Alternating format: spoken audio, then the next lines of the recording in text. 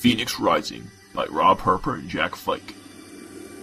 Episode 5. Previously on Phoenix Rising, it has been discovered that there is a serial killer on the Neanderthal.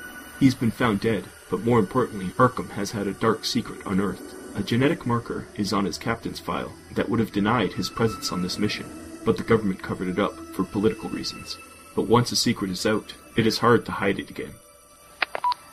Arkham has woken up once again. It's not unusual, except this time the hour is late. Even the bridge crew wouldn't bother him at this late hour. Yes? I know your secret, Arkham. You'll do as I say. Tell no one. I will call again. Who? The line goes dead, and a cold chill goes over Arkham's skin. Comms, get me Armitage. Armitage gets to Arkham's quarters quickly. He looks concerned. Who else knows? Just you and I and Crabtree who discovered it. Armitage looks at Arkham with a questioning look. No, I refuse to believe this is Crabtree. He would have kept the fact that he found it a secret. It would have made it easier for him to blackmail me. There's no way it's Crabtree. Okay, so another Comtech? I just don't know. See if you can trace the call. What do you think he wants? I have no idea, and that scares me.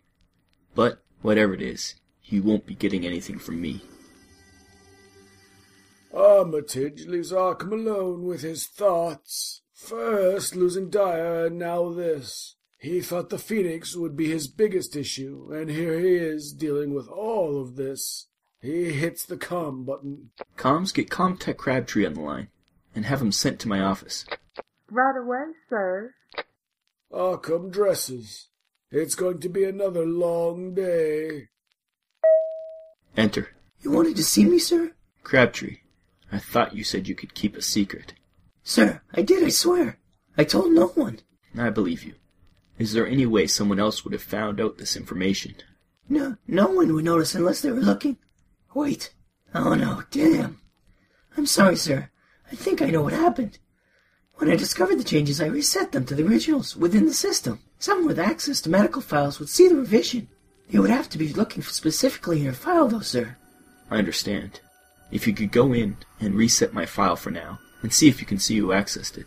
Right away, sir. To be continued after the break. So, here we are, day 382. Trying to think of an ad. Hungry, cold, tired. I think the wolves are after us. We did eat both the dogs. Let's just get an ad. One ad. All we need.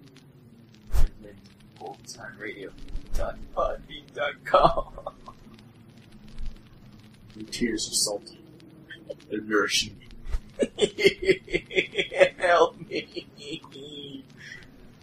Vinland Old Time Radio dot podbean dot com. Damn you to hell. Why have you forsaken us?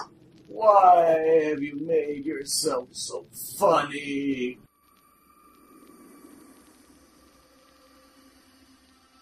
Arkham goes to the bridge and tries to make it through the rest of the day.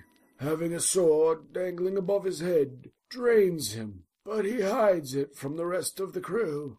The unrest in the civilian population is increasing. The pressures on the settlers is building, and he knows he will have to deal with it sooner rather than later. Armitage will be a help there. He transferred from that section. Sir, it's your dinner break, sir. Uh, yes? Okay. I'll take it my office. As Arkham walks into the captain's office, his personal comms chirp. He expects the bridge with a minor emergency, but instead he is shocked. He stops dead when he hears the voice. Have you read the ticket, Yellow? Arkham doesn't answer. He can't answer. Those were Dyer's last words and the muttering of a serial killer. What does all of this have in common? I said, have you read the King of Yellow? Arkham, with your genetic history, I'm sure you would get a lot out of it. Well, you will have a chance, because you will be sending the file over the Newsnet to everyone. All will have read it. Hastur's will thy be done. Arkham finds his voice. Hastur? Send the file, or everyone will know your secret. It's just a book. Isn't that worth not being shown as a liar and a fraud? The file will be sent to you. Send it out, or else. The line goes dead again. Arkham instantly contacts Armitage. He is sure the blackmailer doesn't know that someone else knows his secrets. He just contacted me again. He wants me to send out a book to everyone. Something called The King in Yellow. Any ideas? There's a strange pause. Then Armitage answers. I have heard some whispers in the civilian sectors. That name has been associated with an uncommon number of events. There has been a marked rise in violent, unmotivated crime within the settler sector. I just thought the situation with the Phoenix had pushed the people over the edge. But now, we have no way to trace comms, but only a small number of people will have access to yours. I'll start going down the lists. Oh. Out. Arkham doesn't like the sound in Armitage's voice. There's more to this than he's saying. He has lost his appetite, but now he has the chance to finally see this King in Yellow. Maybe reading it will give him the answers. He gets to his office and sits at his computer. The file is there. He is about to click on it, but the screen fills with the words, Do not read The King in Yellow. What the hell? The words disappear along with the file. What now? Yes? I think I figured who accessed the file. A Dr. Zarnak. I don't know why he's doing it. I'll find out. No, Crabtree. Leave it to Armitage. Crabtree, do not. The line goes dead. Arkham calls Armitage. Chief, the blackmailer's name is Dr. Zarnak. Do you know him? Yes. He works at the med center, outside the civilian sector. I'm on my way. I'll be there soon. Crabtree went to confront him. Look out for him. It's too far, sir. We'll handle it. I'll make sure Crabtree doesn't get in the way. Armitage hangs up and Arkham has to just sit and wait. A doctor, that makes sense. He would have access to the files, and all medical staff have full comms access. At least they will finally get some information on this King in Yellow and Hastur. Arkham can't help but feel the Phoenix is connected to all of this. Armitage and his sec team rush into Zarnak's small med center. Armitage doesn't like where all of this is going. He thought he had stamped out the cult of the yellow sign, but now all of this. It can't be a coincidence. As the team enters the med center, they find Crabtree standing over the dead body of the doctor with a bloody scalpel in his hand. Drop the knife! Crabtree turns. He looks like he is in shock. He drops the scalpel. Armitage motions to the sec team to arrest Crabtree. It, it wasn't me. It wasn't me, I swear. We'll figure it out, Crabtree. Just relax. It wasn't me. Later, Arkham visits Crabtree in the brig. Sir, thank God. You have to believe me. I, I would, I couldn't kill someone. What happened, son? I figured out who had been blackmailing you. Dr. Zarnak was the one. He, the blood. It's okay. Tell me what you saw. I entered the med center to try to convince Zarnak to not to do this. He had to know what he was at stake.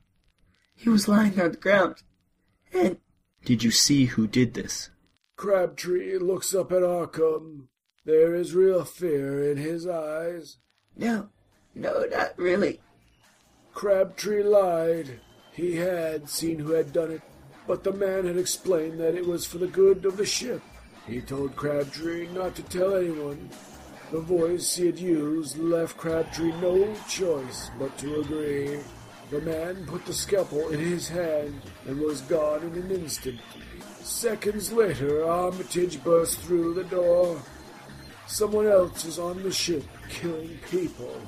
But is he doing good or bad? It wouldn't be too long before Arkham and the rest of the Nyarlathotep find out. Tune in for the next episode.